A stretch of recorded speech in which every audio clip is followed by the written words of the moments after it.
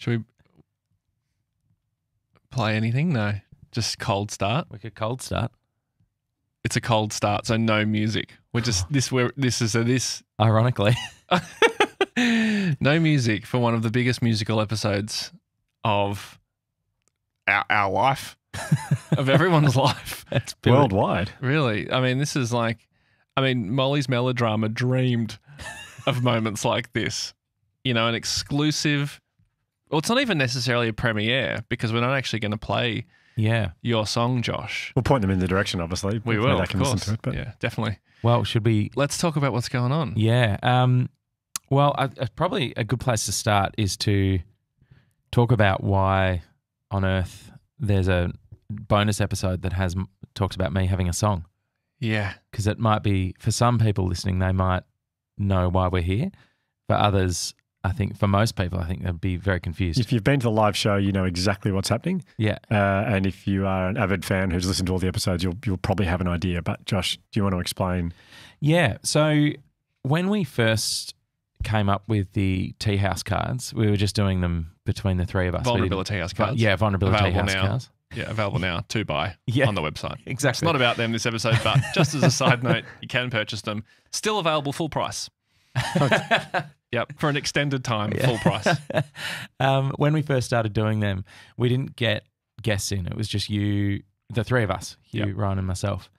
And I think you guys had already done yours, and because I hadn't been on the mic on this show very much at that stage, and I had to do my first card, and it was probably the most I'd ever had to speak on the show to that point. So I was very nervous uh, about it, and I pulled a card uh, that found me telling this story, and I thought maybe we could play the story, Hmm. the original Yeah. audio from that episode, rather than me trying to retell the story itself. Yep. This would be 12 years ago. I was about 22, I think. Um, me and Sophie had only been dating for a while, and she invited me to a party with a friend of hers. And I've just ended up talking to a group of people I'd never met before. There's about 10 of us sort of standing in a circle having drinks outside, probably around a fireplace or something like that. And this guy next to me was pretty brazen and he kind of just leant forward and goes, What's that? and grabbed a book out of my pocket. And I was in a um, I was in a band at the time and was really trying to I thought music was the thing for me. And as soon as he grabbed it, my heart sank because I'm like, oh, they're me trying to write song lyrics. Wow. Yeah. And he opens It's it a- up it's a little notebook. little notebook and he opened it up and started reading them aloud. He was like, I think these my is this like poetry or lyrics or something? And then he started laughing at them. And then he's like, Oh, this is amazing. And he then passed it to the person next to him. And the notebook got passed around the circle to every single person in the in the circle. And everyone read a page from the notebook and took the Mhm. piss out of how bad the lyrics were and how bad the poetry was. And then it Oh. ended up back on me. And I read a page and took the piss out of my own wow. attempts to write. Um, I I think it's had a permanently detrimental effect on me, uh, thing on me because I've never really wanted to ever write anything of my own Wow. because I Mm. just feel that it's all going to be that bad. yeah. And it's going to get passed around a circle and people are going to laugh at it. it's just yeah I, I've yeah I don't know I just can't seem to write anything even though I'd like to, but I just can't do anything of my own and I feel like it stems from that. from that moment. So that was that was then. That was uh, a couple of years ago now that we talked about that. And so what's happened since then, Josh? Well, um, for a long time after that, nothing really happened. Mm. Um, and then we decided to do this live show. And when we went away, This is to- the live um, stage show that we that been we've been touring around the Yeah, country. Yep. and we'll tour again soon. Yep. Um, very soon. I think in a week when this episode comes out, um, Right. or two. Yeah. So we went away to try and plan what this live show was going to be. We sort of booked in the live show, told everyone we were doing it, and had no idea what the show was going to be. So we went away and tried to write the show. And I can't remember whose idea it was, but an idea was put forward that as an actor of vulnerability, maybe I should try and write lyrics for a song and perform a song. Which you hadn't done. You hadn't done a, an original song since that moment that we just played the clip. No, well, yeah, and I've never really. I mean, I've written music like guitar parts and stuff like that in bands I've been in, but I've never written. The key was I've never written lyrics for a song Oh yeah. and had a complete song that was mine Yeah. that I'd written lyrics for because I couldn't face writing lyrics again really after that. Yeah. that moment. Um, And it's also significant just to understand that, like, this is, I think, for a long time, what you really wanted to do with your life. Up until that happened, that was the, that's what you wanted to do more than anything. Yeah, you didn't grow up wanting to be a podcaster. You- absolutely not. still, still is- trying to get out of it. To be honest. um, yeah, it's a good point, and and I kind of wanted to do that for ten years after that as well, but I I, just couldn't, get back to I that place. couldn't. I couldn't bring. I could write musical parts because that felt safe, and I could hide behind that a bit. But I couldn't bring myself to do the much more vulnerable and courageous thing of writing lyrics and put myself out there more and write a song that was just me with the lyrics because it always felt like such a still does actually such a huge mountain to climb to say these are lyrics and this is a song that I'm going to stand by as Yep. mine and me. It, it, it is one of the most like you know whenever I see a stand-up comedian do stand like perform their stand-up, that is one of the most vulnerable things you can do, and I think sitting alongside that is someone performing a song that they've written, especially like with vulnerable lyrics about their life, because it is you saying, like you just said, you're standing by. This is what I think is a good song. Yeah, Yeah. exactly. Yeah. Um, well, that's what certainly what it felt like. Um, and it feels a bit different now, actually, weirdly. But and maybe we can talk more about that later. But Yeah. I, I, I, so came up with that idea, and it was a lot harder than I expected. I said, "Yep, I'm, I'm a new man. I can do this. I've got, I'm a different person now." Um, and I managed to do it, but it wasn't easy. And I played a song at our live shows. Um, Well, and to to, to st- take a step back Mm, from that, yeah, um, we were rehearsing, like we were doing our rehearsals in this strange little hall around Yeah. the corner, which I think Community used to. town hall. Emily, Community Town Emily Hall. Baker Hall. There you go. Yeah. Shout out. um, but Hugh and I were kind of eagerly, well, and Bridge, like the three of us, we were all like eagerly uh, so excited to hear what you'd come up with because you would update us every now and again. But even before that, do you remember I asked you, I, I sent you a message saying, hey, just wondering, like, Mhm. no pressure at all, but how's the song coming along? Knowing we had a couple months till, Yeah, and that was not good for you. I remember you sort of really spiraled after Yeah. that message yeah, yeah. because you just weren't having any luck at that point. No, there was. I had a few hurdles along the way. To be honest, I, that might have been a couple of months before, but I didn't actually have anything until. And you guys were so kind and so generous, and such a. It's such a wonderful group of people to work with that I never felt pressured from you guys. But I was starting to think, geez, the show's like three weeks away, and I don't really have anything. Was it that close? Three it was weeks? pretty close. Yeah, oh my gosh. Yeah. I reckon it was about three weeks when I played it to you guys. Um, Okay. I, I, for some reason, I had this, I just had this faith Yeah, me too. that it would, It'll happen. it'll just come I'm together. glad you guys did. I did at the start and I didn't by the end. But um, anyway, so I, I played it to you guys, which was a huge moment in my life that I don't think I'll ever forget. And um, and then No, nor were we. No. I was in tears like yeah, you were 30 actually- seconds in. Yeah. Um, and then I st- and then we played it live in the show, and people, I think it worked in the show, and a few people afterwards said they wanted to hear it, like wanted to hear it up on A few Spotify. people. Just a few. Yeah. It's the main. It's the main bit of feedback after the show. Yeah, great, great show. Where can we get the song, please? So I've gone away and recorded the song um, with some incredible musicians. Uh, because you were performing it. You performed it acoustic Yeah. basically for around Australia with our show. And yeah, but, but but now it's you've actually gone and written more musical parts to it with other people. And and yeah, and I went to a, like a fancy proper studio where real professional musicians work Mm. and uh, had so and we haven't heard this yet. So Yeah. Ryan and I have not heard this. Like It's been torturous because we knew we wanted to wait till we recorded this episode to kind of Yeah. like so we could talk about it in the moment.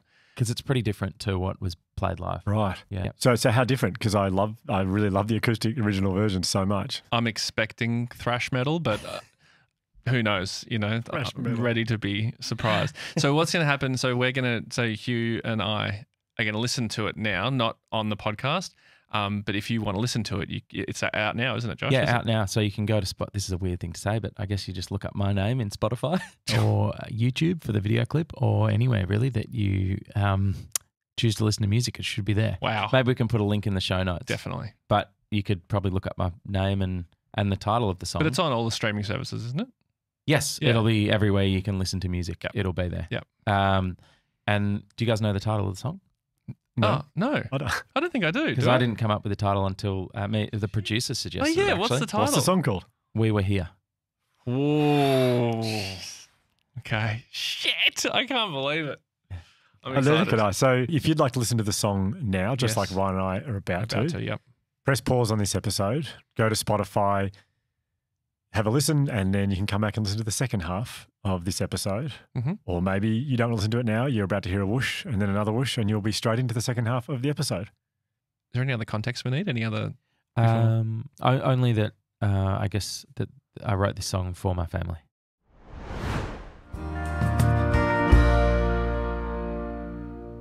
Fuck. wow. I don't know how you've done that. I don't understand. Computers, mate.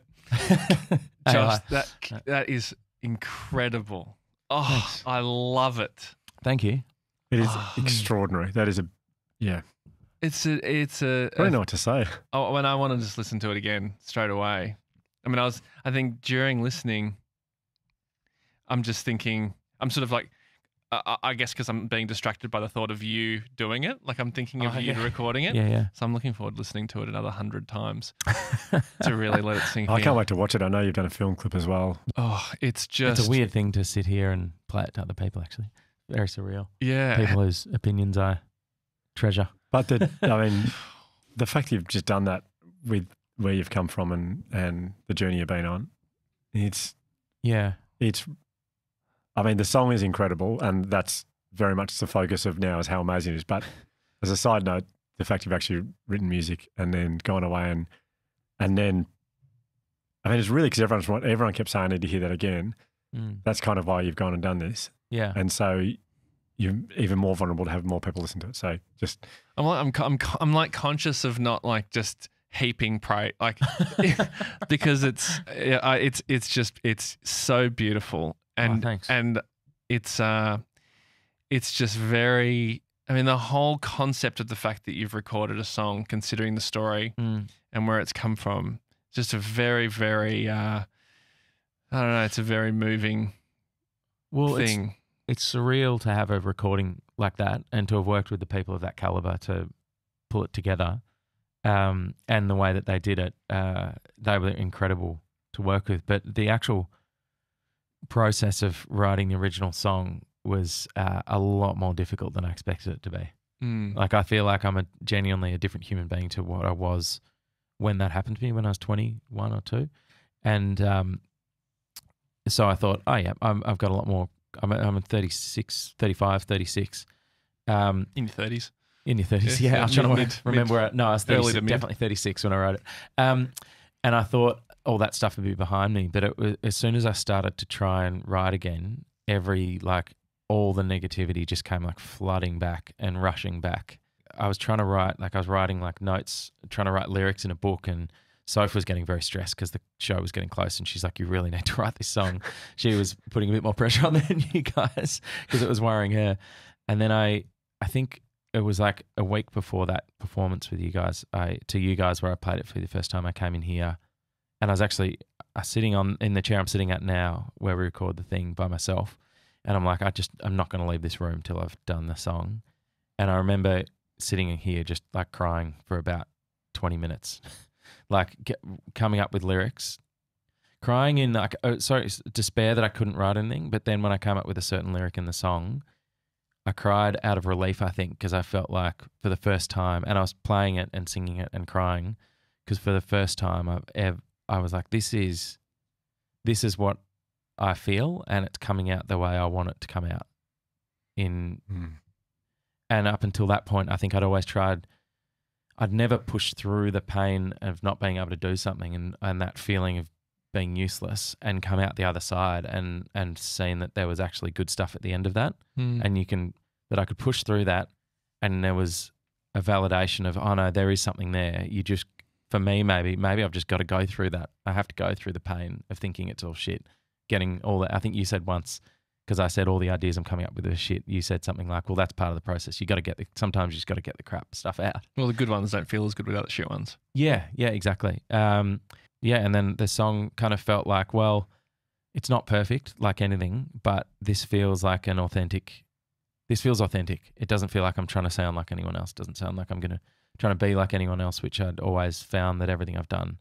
And so I I didn't really care if it was good or not. to be honest, which is a weird place to be as well. Because I, um, in the past, writing music, I think I really cared and wanted external validation. I wanted exactly what just happened before. Mm. Um, but this time I was like, I don't really care because I know that this is how I feel, and this is probably about as good as I've got in me at this point in my life, and that's that's got to be enough. It's a well, it's such a good place to be, but also it is. I think I hope that when people listen to the song, they think about.